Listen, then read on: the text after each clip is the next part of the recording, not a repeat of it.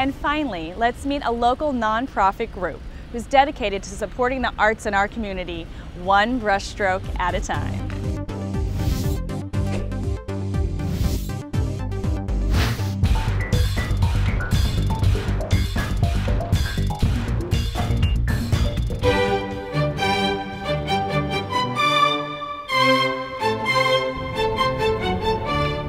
If you have any interest in art, the El Segundo Art Association welcomes you. For nearly 30 years, the nonprofit organization is dedicated to connecting local artists, making art, and learning about art as a community. Since the appointment of their new president, Curtis Green, they plan to do just that by building on several fundamental blocks to their association.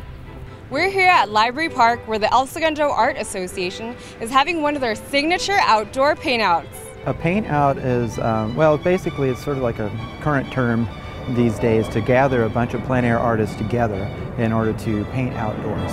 Plein air is a French term that means outdoor.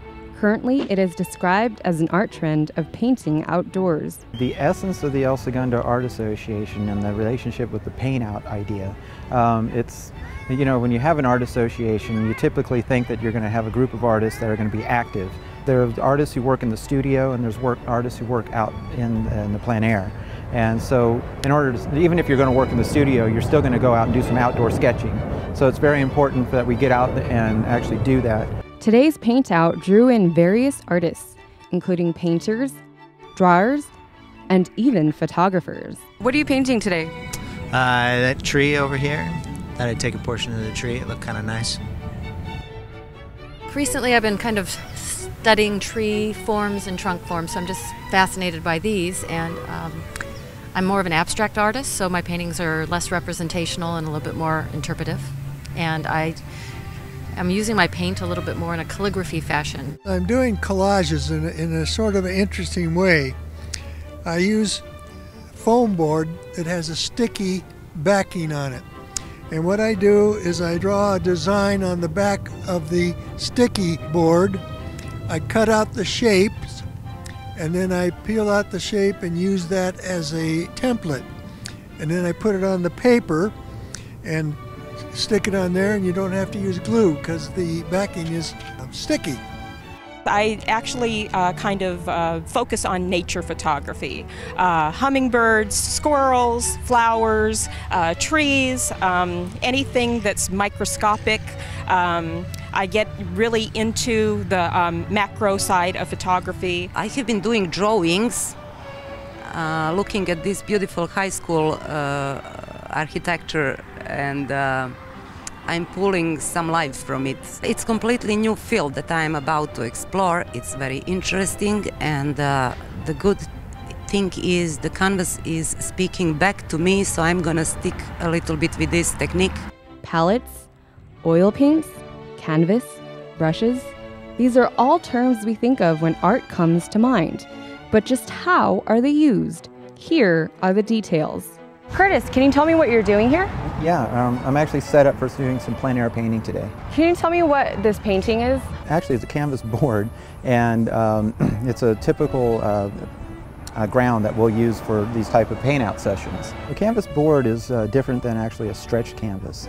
So either way you're going to have a fibrous canvas and you can actually wrap that around a board which is just uh, you know like a thin piece of cardboard or you can actually stretch the canvas around wooden stretcher bars what I'm going to need to do is, is find a subject out here in life that will um, arrange itself nicely as a composition on that board. Tell me what you're holding right here. This is a palette. I guess you could call it a mixing board.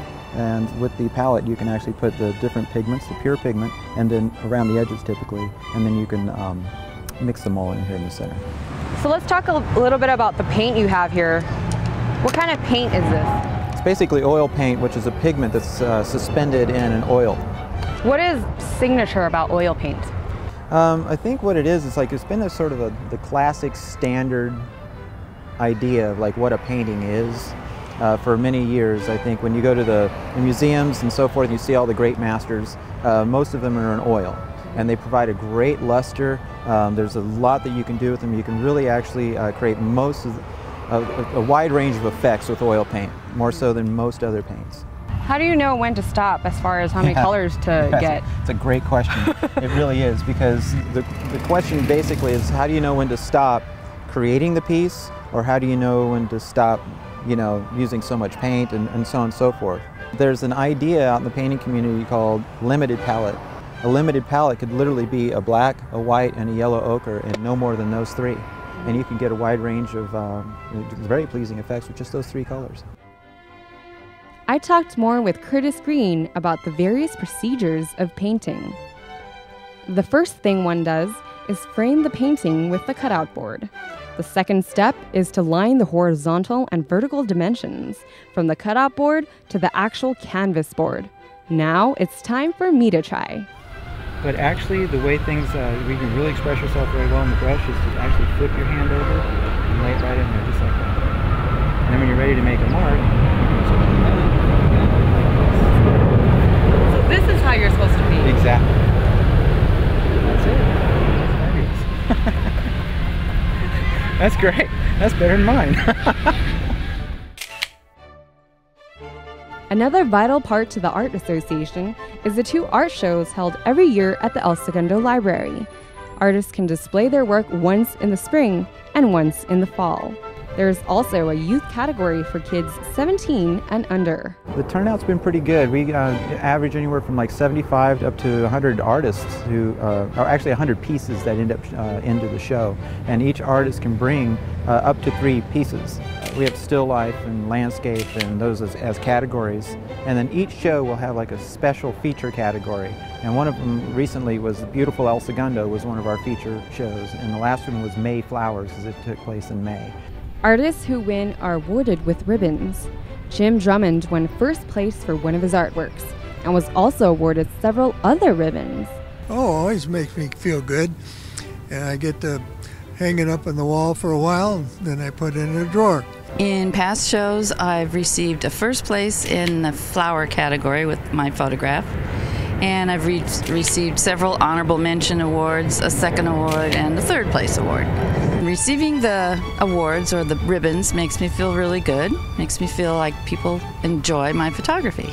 It was actually an amazing experience. Uh, I didn't know that El Segundo uh, have that many artists, and uh, I have been enjoying uh, and uh, enjoying their art. People of all ages and skill levels are welcome to join the El Segundo Art Association. It keeps the caliber uh, nice on, on one end, and, and we get to learn from each other and that type of thing. Green also has other goals for the group. People don't know we exist, and so uh, we're looking forward to actually becoming more of an active, viable association to uh, be able to take what we do and maybe um, interact with uh, some of the coffee houses or some of the restaurants or something like that, and you know, kind of join in on some of the events to, you know, help uh, with the businesses around here too. Members pay an affordable yearly fee that covers their whole family.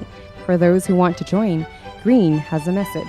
Whether you're young or you're elderly or you're in between, uh, you know, starting out or really enthusiastic, you know, come on and participate. The third primary prong of the organization involves a local art house right here on Main Street. We have a relationship with the El Segundo Art Museum uh, that's just recently because the El Segundo Art Museum just started, um, what, uh, just last year as a matter of fact. And in so doing, they've struck up a relationship with us and we get the opportunity as members to go and visit the museum.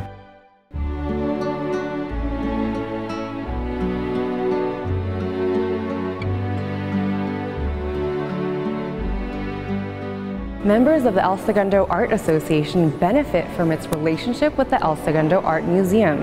Today, they're having a live portrait session right here in its gallery.